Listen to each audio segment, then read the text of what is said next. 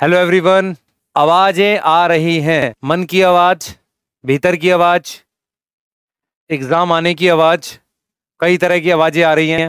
तो हमें ऐसा लग रहा है कि आपको अपने अंदर की आवाज़ें भी आनी स्टार्ट हो गई हैं कि एग्ज़ाम पास आ रहा है और इस पास आते हुए एग्ज़ाम में हम कहीं रह तो नहीं जाएँगे।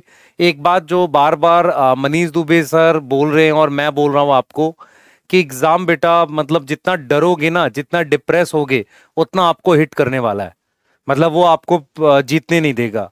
बिना डरे बिना आ, मतलब किसी तरीके से घबराए अगर आप खुद को स्ट्रांग बनाते हुए पढ़ोगे ना तो हमेशा जीत जाओगे।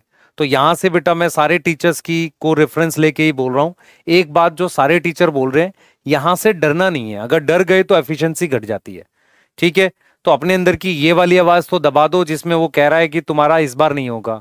बस क्या करना है सिलेबस पूरा करो सही से, पढ़ते हुए चलो, और आगे हम लोगों ने सक्सीड होना है। ठीक है, हम लोग आपके साथ बने हुए हैं। आपको हर सिलेबस के चैप्टर वाइज टेस्ट देने की पूरी पूरी कोशिश कर रहे हैं। और मैंने एक चीज़ और किया है बेटा, आज आपको मैं एनसीईआरटी की रीडिंग इस चैप्टर की अपलोड करा रहा हूँ एनसीईआरटी रीडिंग है ना? यकीन वन और टू दोनों में एनसीईआरटी रीडिंग इस चैप्टर की।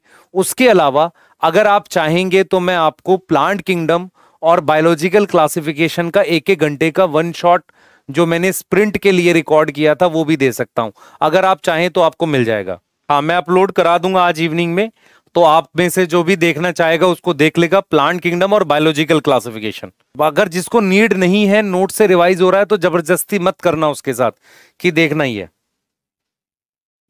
हाँ पर वो एक घंटे में आपको कान में लगा के सुन लो, देखो नो तो तो भी रिवाइज कर देंगे। ठीक है, जैन बेटा, कुछ समझ नहीं आ रहा तो बच्चे तू दोबारा से पढ़, मैं बता रहा हूँ तुझे।